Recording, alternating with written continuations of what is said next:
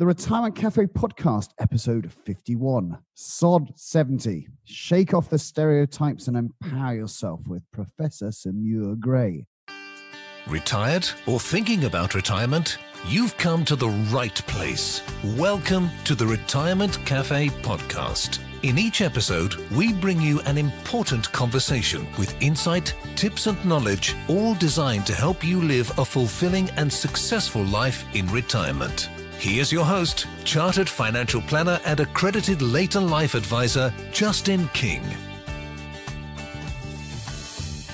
Hello, and welcome to the latest episode of the Retirement Cafe podcast, which is brought to you by MFP Wealth Management.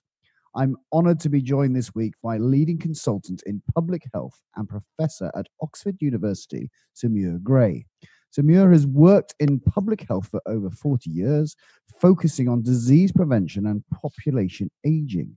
He was knighted in 2005 for his services to the NHS and is known as a public health pioneer, having published a number of medical journals. In recent years, Sir Muir's writing has taken on a more light-hearted tone with the publication of SOD 70, The Guide to Living Well.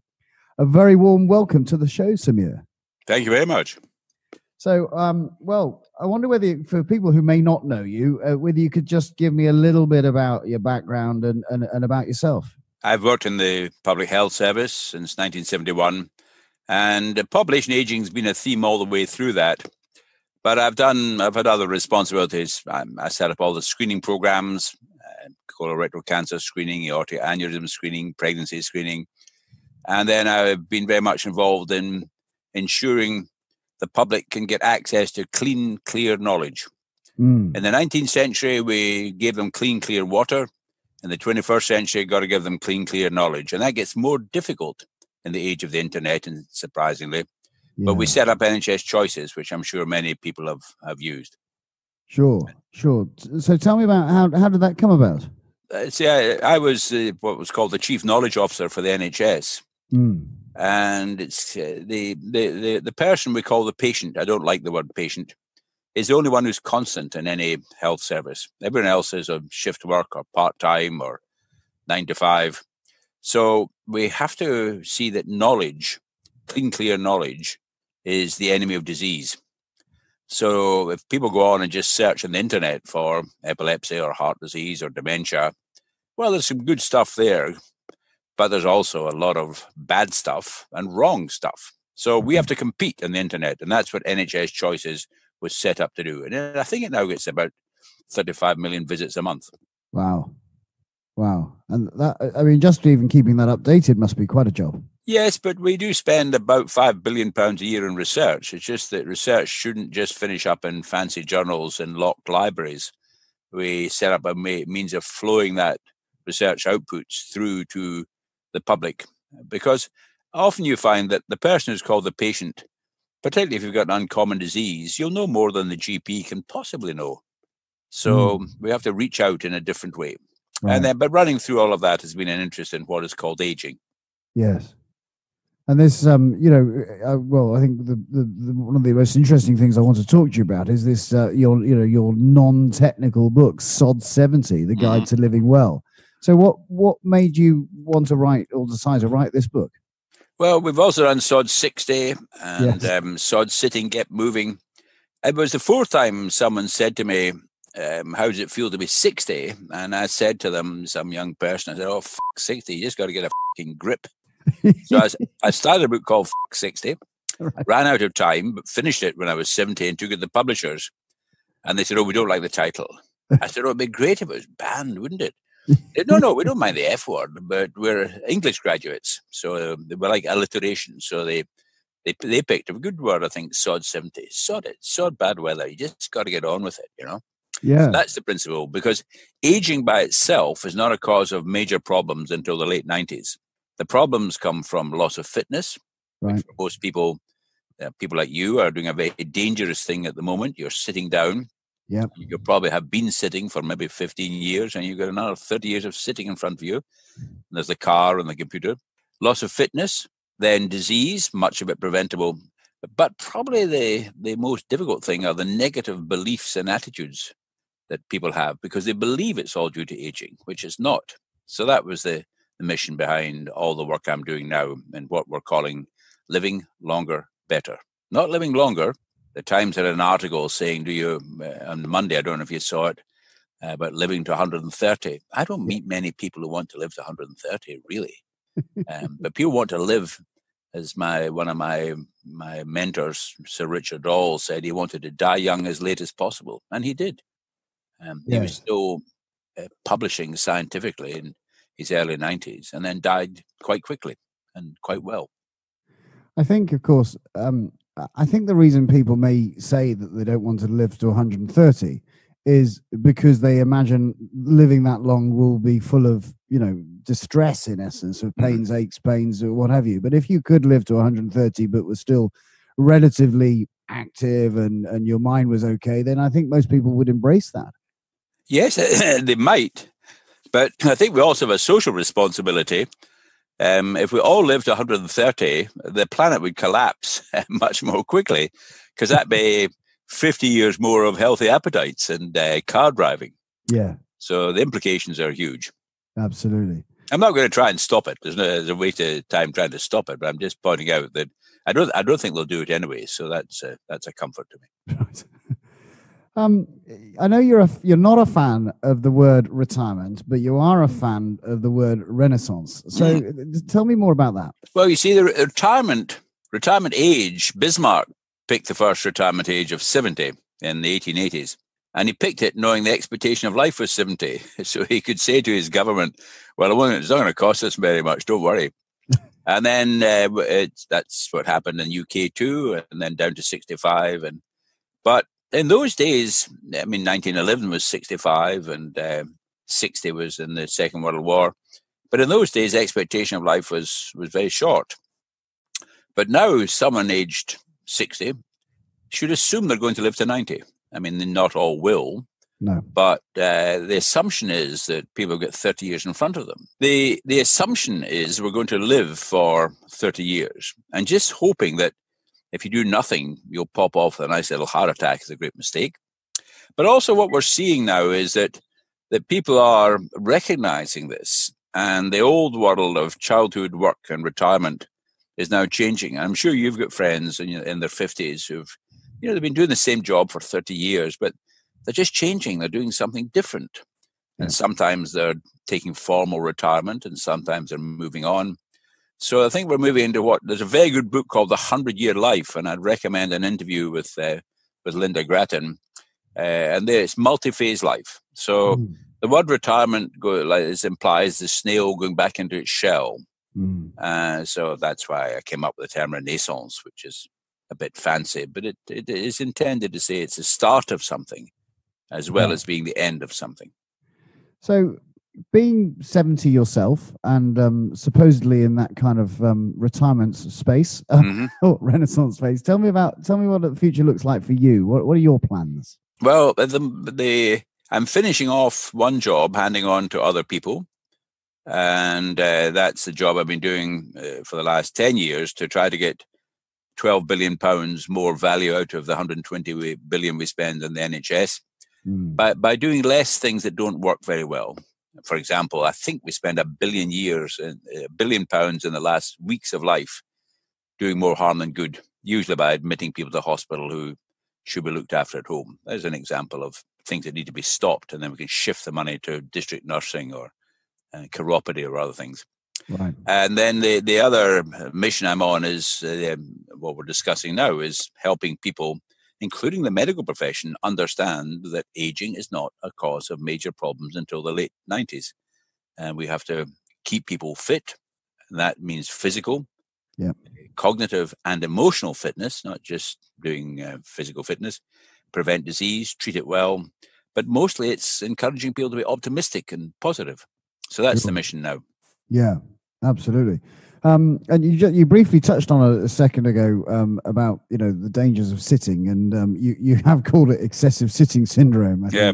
Um, so how do we how do we get the the nation to counteract this? Well, I think it, there are uh, things that uh, it's a cultural change. First of all, people need to see the the challenge that is there in modern life and the way we design cities. So, uh, a simple example: we're looking could we get a million people over sixty back on bikes? Mm. Uh, now, I don't know where you live, but cycling is pretty tricky in many places. Oxford and Cambridge and, and London are pretty good now. Uh, yep. Could be better, but pretty good. Uh, whereas many cities, it's very dangerous. But we're also looking at people who are housebound and, and could we use virtual reality?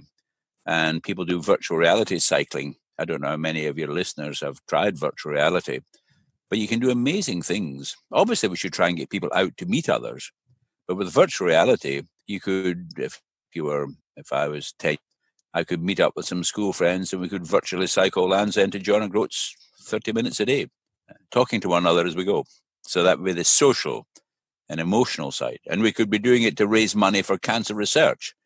Yeah. So there'd be a purpose to what we're doing. So that's the plan. Yeah, I can see that. Um, I, I mean, I'm I'm I'm a keen cyclist myself, and in the yes. winter in the winter months, I do use these kind of um, oh, do you?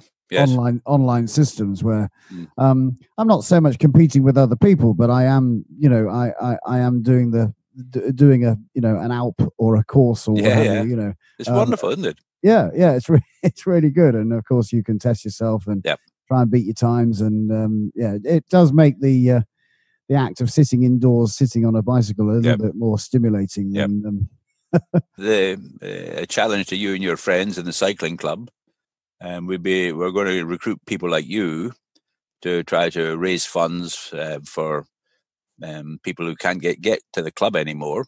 Yeah. And so you'd have a virtual club in wherever you live, Surrey or Sussex or whatever, and uh, you would have a virtual cycling club as well as a a real cycling club, and you could be chatting to others as you did it. You could do that at the moment using what we're using now, namely Zoom. Yeah, absolutely. Uh, and I'm thinking about you know, do you start removing um, I don't know, removing seats from trains and uh, you know. Right. Yes, I said uh, I was on a bus yesterday in London, and this nice young woman offered me a seat, and I said, "No, thank you very much. I'm in training." Oh, what for? She said, "Cycling." I said, "No, my my 80s and 90s," and she roared with laughter and sat down. So that's a great that's a great story. Fantastic. So you have polished. You, you know, you you mentioned you published a number of books that aimed at the over sixties. Can you you know tell tell the audience a little bit about them and why they may want to um, take some time to read them? Yeah, well, the um, the the, the sod sixty. The sod 70, they're similar, obviously, but um, six year olds are often still in work. Yeah. Um, 60 year olds often have parents to look after, 70 year olds less often. So it's like different. There's a difference between 60s and 70s. The, the mission there is just to explain what is happening and to give suggestions for things you can you can do to start to adapt. For example, body maintenance. So it's like having an antique car. You know, you got to look after it a bit. And um, uh, there's also things you can do to reduce your risk of disease. And then if you've got disease, I don't think in the health service at the moment, uh, it's coming now, but at the moment, we just give pills to people who've got long term conditions. And uh, we've developed many wonderful pills, but everybody with, say, type 2 diabetes should be given pills and an activity program. They're probably at the moment given pills and a diet sheet, but not given pills and activity program. So we're discussing with the gym industry how could they get involved in type 2 diabetes or high blood pressure? And they're, they're proving very keen to do this. So the books outline really the, the scientific basis for this. And they're written in uh, quite an open style, but actually they're also written for the medical profession because they're very muddled about what's happening to us as we live longer. And I say there's these four processes aging, loss of fitness, disease, and negative beliefs and attitudes. Yeah, absolutely. The um, you know, one one of the things that I'd like to maybe investigate with you a little bit more is is this idea of actually eh, giving up work. I mean, it doesn't sound like you you you have any intention of giving up work. Um, uh, so this kind of standard, you know, I get to sixty or sixty five, and I get my gold clock or whatever yeah. it is, and I and, and pensions are often linked to a specific yeah, retirement sure. age. Yeah. Um, so tell me, tell me more about your thoughts around that. Yeah, well, well, I, I have formally retired from the NHS, and right. that's partly because I think there are young people who are looking for jobs. But for the last twenty years, anyway, I've been doing jobs which I've created and raised money for. and many people, many people have a, have terrible jobs. Uh, one of my ambitions is to get Bear Grylls to commute from from Vauxhall to Barking, um, and sit nine hours in front of a computer every day. I mean, so for many people, getting out of that sort of life is very good for their health. Yeah. Uh, so I think that this is the issue. We now need to see that work is not everything in life. And uh, I say I am seeing that now with people in their 50s, even in people in very sort of creative jobs. So I say, well, I've been doing this 25 years and I enjoy it. Um, I've got a free degree of freedom, but maybe now's the time to think of something else for the next 20 years. I'm sure you've got friends in this position yourself. So sometimes the retirement age stimulates this, but we're now seeing people are making this decision before 65. Yeah. Yeah. I think um, I think getting something, you know, I'm I'm very passionate on on people living uh, what I call it, ideally a fulfilling life, and yes. living with something with purpose. Yep. And it, and, it, and if you were sat there sitting there on a you know commute with a nine hour day and thinking this is pretty rubbish, yep. I would I would encourage anyone now to kind of you know have a conversation um, possibly with someone like me, a financial planner, who's going to go, okay, let's let's look at what you know, without any obstacles, what would be a great life? Because yes, you might, you know, even at fifty or 40, you might have 40, 40 odd years. Yeah, yeah. Let's make sure that that's fantastic. Um, and and sometimes just a different perspective can really encourage people yes. people to, to do something different with their lives yeah. um, one thing i must point out um, uh, uh, to you that i do have a stand-up desk good um, yes so oh, I, I, yeah uh, it, it, should, it, it should be compulsory and and you know the, the boss should make everyone go out at lunchtime i always say to people even if you don't love your staff get them out because you'll get more and better work in the afternoon yeah. so yeah, I think do, there's we do. This is coming in now. Here. It's coming in. We do encourage that here. We have a Springer Spaniel in the office that yeah, um, good that needs walking. Yeah. Um, uh, and uh, Ryan, our trainee, who um, is doing a great job. I've encouraged him to have an hour off, uh, finish early on a Friday if he will actually go for a walk at lunchtime. Yes, um, good. so there's a so he gets away early on a Friday, but also hopefully gets uh, you know we live we do live our office is next to the beach, so there's no real excuse yeah, yeah. To, to, to, not enjoy it. But even if you're in a city, there's some still some. Oh yes, the cities are one. I always say I actually prefer city walking. I always say the the wildlife is more interesting in cities. Ah yes, yeah. People you see. yes, absolutely. Um, okay, this is a fascinating conversation. Is there anything that we haven't covered that you'd like our listeners to to to take away? No, I think the key thing is. Uh, uh, we need to rethink what's happening to us as we live longer and to change our view of aging. Aging is a normal biological process. Mm. It has two effects. One is to reduce the maximum level of ability. So Roger Federer's pulse rate is starting to go down from about 38 on. The second is to reduce our resilience or reserve, namely how we bounce back. And that means how we cope with things like a trip or inactivity. So mm. paradoxically, the more you're affected by aging, the more activity you need. And that's physical, cognitive, and emotional. And as you pick up long term conditions, which may limit your mobility, the more activity you need. That's the paradox, really, that I'm promoting. So people need to think okay, I'm 75 or I'm 78 well, next year I'm actually going to do something more. Yeah. And that's a new message. Yeah, definitely. Definitely. That's a, and, a, and a clear message. And I, and I can, yeah, absolutely be an advocate for it. And, uh, um, yeah, brilliant. That's really, really quite inspiring. And hopefully that, um, we did a client story the other day about, uh, in fact, my, my, um, my mother-in-law is uh, 74 and she did a triathlon last week. Oh, did she? Great, great. Yeah. Oh, I'd love um, to send me some information about her. Yeah, and she's, she's, she's um, not the Iron Gran, is she? No, no. We have had Iron Gran on yeah, the sure. uh, we, on the on the podcast already. Yeah, who uh, who is you know, absolutely fascinating uh, mm. talk, to talk to. But yeah, these real client stories of hopefully we can. Um, yeah, no, it's, it's, but it's important to think. You see, I, I had a heart attack six years ago. Oh. So I can't run 60 yards. Right. Um, but it was great. The morning after my heart attack, after the stent had gone in, yeah. an exercise therapist came to see me, and it was made very clear that it was up to me. Um, so in some some parts of medicine, they're getting the message but mm. not all parts of medicine. So that's part of the mission. And and how did you? Uh, what did you? Uh, your exercise regime change after that heart attack? Well, I used to go running. Um, I cycle every day, and uh, I think I will get an electric bike because I can't manage the big hills in Oxford. No. But actually, the electric bikes are very good. The evidence is that if you get an electric bike, you don't use any less energy. You just go further faster. Uh, oh. It's electro assist. I don't know if you've tried an electric bike, but they are they're very good. Uh, but you do use the same amount of energy.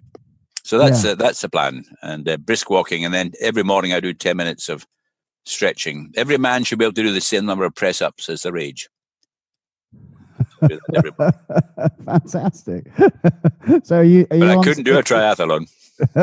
well, not yet, maybe. Not yet.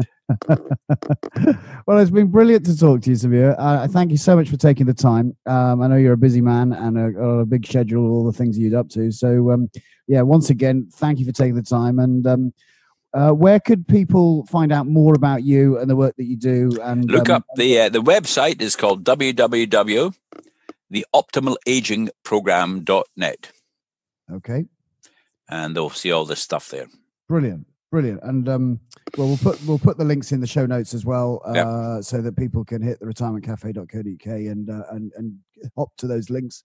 Um, so once again, thanks for your time and um, and all the best for, with with your retirement. Uh, well, we're getting back to you about virtual cycling and getting your. You remember a member of cycling club, are you?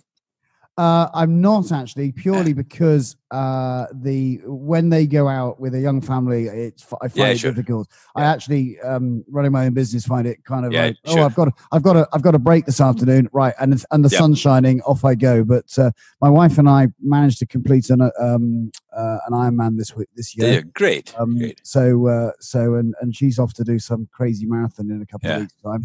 So we're, we're, we're hopefully we're on it. Good. Look forward to hearing from you. All the best. Thank you for your time. Bye bye. Bye bye. If you'd like to find out more about Sir Muir Gray's work and his books, check out the show notes on our website at theretirementcafe.co.uk, where you'll find some useful links. I hope you've enjoyed this episode. Um, if you have, please do leave a review on iTunes by searching for the Retirement Cafe podcast or subscribe so you'll never miss an episode. You can also continue the retirement conversation with us on our Facebook page. Simply search for the Retirement Cafe or get in touch by sending me an email at hello at theretirementcafe.co.uk. This podcast is brought to you by retirement planning specialists MFP Wealth Management, so thank you for their continued support.